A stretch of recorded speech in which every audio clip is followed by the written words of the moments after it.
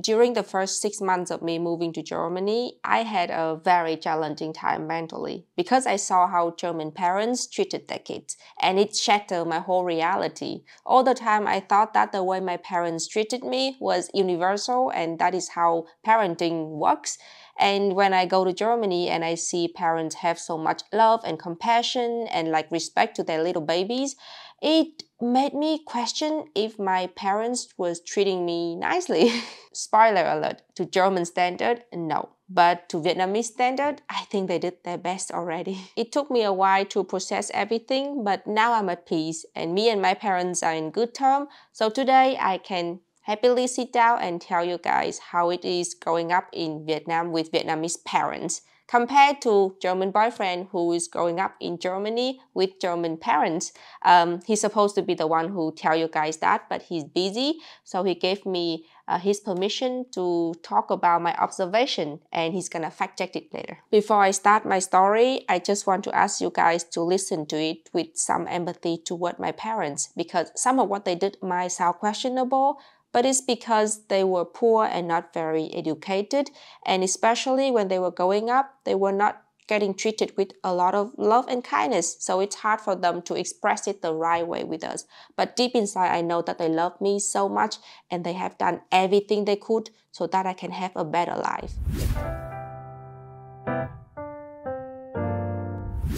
So I was born in 1995. That year, the village finally had electricity. Before that, we were still using candle. My mom is a farmer and she has a tiny land where she plant rice, peanut, corn, and bean, and it's all by hand because there is no technology at that time. My father worked a 9 to 5 job, and I believe at that time he was earning 10 euros per month. My family is very traditional, which means although both my mom and my father worked and they made kind of the same money, my mom still have the solely responsibility of taking care of the house, cooking, cleaning, and take care of children. My father doesn't need to do anything actually. because of that, my mom was raising four kids by herself while maintaining all of the tasks and it made her severely stressed out and obviously she lashed out to us from time to time. When I was a child, I even prefer my father more because of that. He was so chill. He never like yelled at me. He just there to like sometimes give me some pocket money. Whereas my mom is always telling me I was doing something wrong. I have to fix this and that. I have to do this and that. And she is super uptight. But now that I grow up and I look back, um, I have different opinion. Although my father was distant, I appreciate that at least he's not controlling because if you're being a man, a father in a Vietnamese family, you have a lot of power you can like literally controlling like everybody and tell people what to do and we have to do it because father said so or like the husband say so. But at least my father was not abusing that power and he just let us be us and he let my mom being a very fierce and scary woman. And i appreciate that. In germany the roles are way more balanced. German boyfriend's father worked and his mom stayed at home to take care of the children but still his father uh, was still involving into raising the child and like I saw him hugging them. I saw him saying sorry and I saw him saying something like, I'm sad because you did that. And it was one of the very big culture shock because I did not know that a father can have such a range of emotion. Growing up, I didn't have any hobby because we cannot afford anything. I also didn't have any toy except one Pokemon plushie my grandma bought for me. Um, also, they didn't really let me go out that often or even having friends, and that part made me really angry when I was a child. Every time when I bring a friend over, they weren't very welcoming and they always to tell my friends to go home after like 30 minutes. My parents somehow decided that it is way more important for me as a child that I am studying well so that I would have a better life in the future. The other part that I finally understand when I was older is that my village is not that safe for a child to walk around because my parents was very busy they cannot really be with me all the time they just decided to just lock me in the house to protect me from all of the bad influence. Still, that decision turned me into a very socially awkward teenager, and somehow they were mad at me that I was not sociable enough. But at the same time, I guess the positive thing is that some of my creativity comes from the time when I was just locked inside the house and basically imagine objects as people and came up with story to kill time for years. I don't think German boyfriend had the same experience like mine. I saw his album picture. He had a lot of fun. He was in the zoo with his friends. He was in the scout. They do like camping. They were on school trip. His parents was encouraging him to be sociable, to have friends and everything. And uh, they have more time for him. So I understand. Still, I'm jealous. In Vietnam, we have a saying that if you love someone, you have to beat them. And if you hate someone, you show them love and compassion. And many Vietnamese, especially villagers, took it into heart. Um, actually, I'm pretty grateful that I wasn't get beaten that often. But many of my friends were getting beaten daily or weekly because of minor mistake like dropping a cup or like forgetting something or having bad grades. And they don't just like give you a smack or something. Normally they would use like giant twig and then they make you lie down to like beat you properly. It's super painful. If you're a girl, they would humiliate you by shave your head or like cut your hair in an ugly way so that when you go to school, you would be like embarrassed. Nobody thought that it was a problem at the time. They all said that it's good for the kid because they get disciplined and they will not do the bad things again. It was so far from the truth. Many of my friends who were beaten daily, horribly, they didn't turn out that great. They have a lot of mental issue and they didn't like having their life together. So yeah, seriously, do not beat your kid. It's not solving anything. My parents has to be the only couple in the village that barely beat their children. Whenever my mom was mad at me, she just yelled at me a lot. And sometimes I wish that she would just whoop me because uh, some of what she said when she was angry was very hurtful and traumatizing. It took a lot of like self-healing for me to get over it and forgive her. In Germany, you are not allowed to beat your kid at all. If someone figured that out, they could take the kid away and punish the parents. They deserve that. The thing is, I don't think German parents didn't beat him because it was illegal. It's just because they decided to teach him with a lot of kindness. Like they just talked to him. They gave him time out, they gave him toys and everything, and uh, it turned out great. So I don't understand why you have to go the extreme to like punish your kids physically.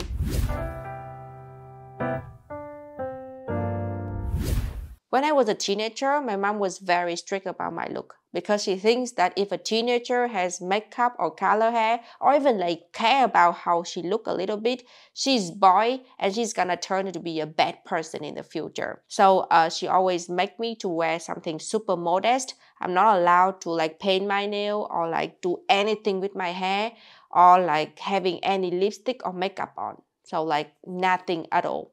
I still remember one time I wanted to be pretty, so I go to the hair salon and ask for a seal press so that it's like straighter because I didn't like my like frizzy hair. And when I was home, she was so mad at me. So she started throwing like a broom at me. she didn't talk to me for like days after that. When I go to the university, she gets a bit more relaxed. She allows me to have like uh, color hair and everything. But tattoo is a no-go. Even now, no-go. Like if you have a tattoo, you're done. It's so crazy because I knew a friend who has a tiny tattoo right here, just like one centimeters. And when she met her in-laws for the first time, the in-law said either you delete the tattoo or you cannot marry my son and she deleted the tattoo. So yeah, it is that taboo and it is that crazy in Vietnam. Even at school, they ban everything so that uh, the kids can focus on studying. And when everybody look the same, we would feel like we are in one community and one group instead of like one individual person. And I don't think that is good at all. And it, it's not just like physical look, it's also like the way we behave. We always have to behave in one certain way and there is no exception. And I was feeling pretty trapped because I feel like there are more out there and there are more inside me that I could be and I was not allowed to be. I don't know if I describe it uh, in a correct term, but I think you guess what I mean. My parents didn't really listen to my opinion up until I was like 24. They didn't really think that I have my own thought or something. They just think that all they need to do is feed me, whip me some clothes, and raise me through school, and basically that's it. German boyfriend parents listen to him even when he was a child. They respect his opinion and they treat him like a human being with opinion and see what they did. He grew up to be fairly confident. He doesn't afraid to speak his mind. I grew up to be a very, very reverse person. I didn't dare to say whatever I thought in my mind because I'm so afraid of whatever people think about me and I'm so afraid of upsetting people. I'm very glad that I moved to Germany and I started to be more direct. But I just wish to have like the confidence that German boyfriend have in my family, we don't hug each other or we don't say I love you to each other. It is a very weird thing for like Vietnamese family to say. We don't even like touch each other at all. Um, so it's a bit difficult to feel the love of a parent for the kid. But I still remember when it's nightfall and we sleep together, my mom would hug me very tight and she would start saying like oh my lovely daughter you're so cute. But she had to make sure that i'm sleeping already. And sometimes i just pretend to sleep so that i can hear that. I don't think my parents praise me often if i do something right but they make sure to let me know whenever i make a mistake and they will not let me forget it for a while. This is really bad because it wired in my brain that this is how you should treat like your loved one. If they do something good you don't say anything. But if they do one thing bad you make sure to like let them know. And uh, for a while, when I first dating German boyfriend, I was kind of doing that, and uh, took a while. Like German boyfriend have to like show me a lot to make me realize that that is not how you should treat your loved one. I'm proud to say that I have changed a lot, and now I can just like say a lot of lovely thingy to the family. The thing is, everybody want to be treated that way. It's just that we didn't have that kind of treatment before, so we don't know how to do that properly.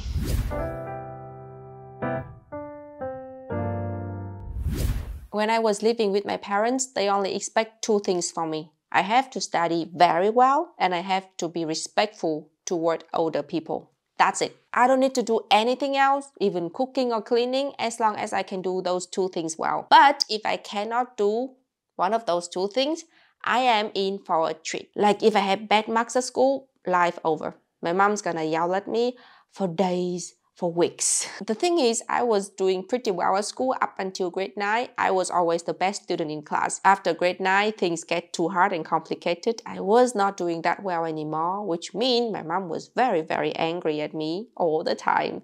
But uh, studying in Vietnam is a big topic for another story. Respecting elderly could go into a very extreme way in Vietnamese village. Like whenever you see someone older, you have to like, hello, hello auntie, hello sister, immediately make sure to address them correctly and make sure to like show them their respect. If someone come to my house and I forgot to like immediately say hi to them in the most respectful way, they would be very mad at my parents and they would tell my parents that like I'm uneducated, I'm a failure and everything.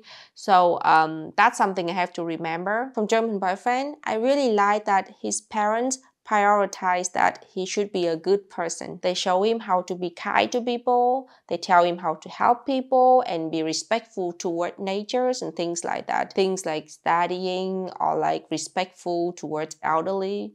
I don't think it even like exists in Germany. You should respect anyone, not just the elderly. They don't really like force him to like studying that much like what my parents did when I was growing up, mental health was something that nobody around me aware of. So obviously my parents had no clue about it too. There is only two type of mental health. Either you are normal or you are completely crazy and had to be sent to an asylum. There is no in between. Anytime someone cannot deal with it anymore and have like a mental breakdown, we think that they was possessed by a ghost and instead of bringing them to a hospital, we would like throw them like ceremony so that some of the witch can talk to the ghost so that the ghosts can start processing them. My cousin who was the same age with me went through that and instead of like bringing her to the hospital, they do that ceremony and they pay a lot of money for that. Luckily somehow she gets better, but some of them never gone better.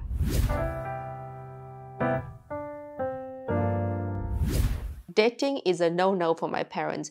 We were not allowed to date. We were not allowed to have any friends who were boy. And if we bring a bunch of friends home and there were boys in the group, my father would ask him to get out of his house. That's strict. So their approach is like completely block me out of any potential boyfriend. And also, I wasn't given any of the grown up talk at all. The lack of knowledge about sex education in our village was very alarming. Many of my friends, when we were like 17, 18, still thinks that we were giving birth through the armpit. We didn't know how it worked. We didn't know how to protect ourselves. All we know is that sex is bad and if we lose our virginity before getting married, we bring shame to the whole family. I understand that it's difficult and uncomfortable for my parents to talk about it, but at least tell me that there are creeps out there and I should protect myself. One thing about our culture that I'm pretty confused is that we don't really celebrate life, but we celebrate death a lot. My parents don't really remember my birthday because we don't celebrate my birthday. But guess what they're celebrating very hard for? Is the death day of our ancestor and family members. Every year on the day that person died, the whole family and extended family would come together could be like even 50 people we would like eat together and things about that person. I mean it's tradition and i don't want them to stop doing that. I think it's a very nice tradition. I just don't understand why don't they just use a bit of their resources to have a birthday party for the live person as well. Like i would love to have a birthday party when i'm still alive instead of like people celebrating me after I'm gone already. In Germany, the death day is not that important, I think. I mean, they would still remember that day and they would talk about that person on that day, but basically that's it. But the birthday is a big thing. Everybody is gathering together, they give each other gifts, they're celebrating their lives, and they have fun together. And I really, really like that tradition.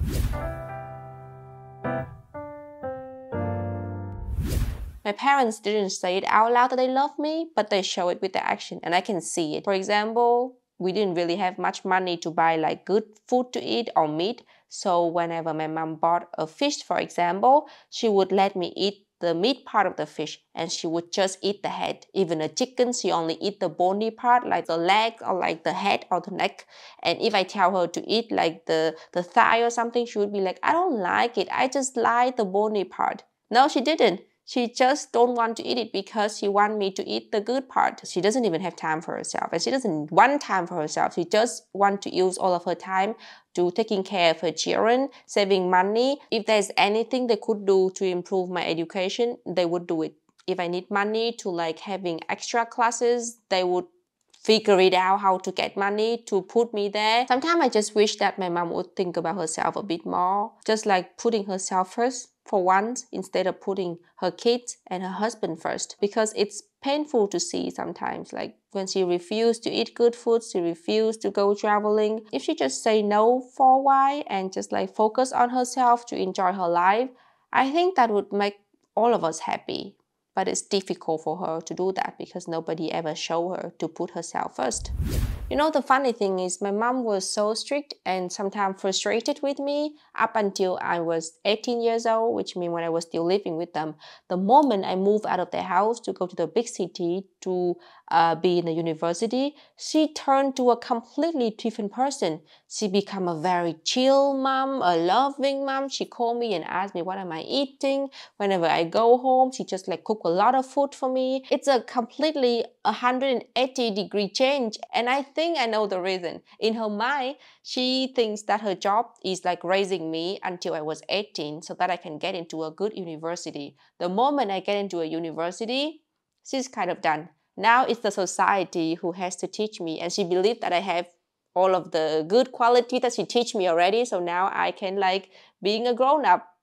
But the funny thing is, she was so strict with me, and she was like putting me into like this bubble. I didn't learn anything much about like a grown up with her. So when she sent me to the university in a big city, I had to learn everything again. I was like a baby learning to be a grown up in a very, very quick time. But it was okay. I'm not complaining. I was by myself. I met friends. I learned things. I failed. I cry. I grown up. And the best thing is that my mom became a chill mom now. So she's there to support me instead of like yelling at me. So that's great.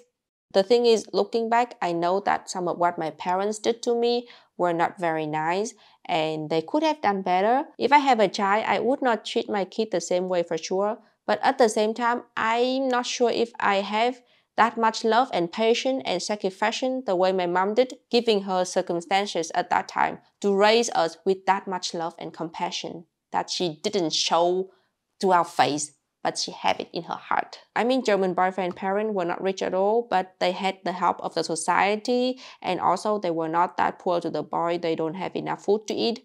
So I kind of think that he definitely has a better childhood than me, a little bit more chill and everything. So yeah, that's my story. Thank you very much for listening. Please be kind on the comment section. And then I'll see you in the next video. Bye bye.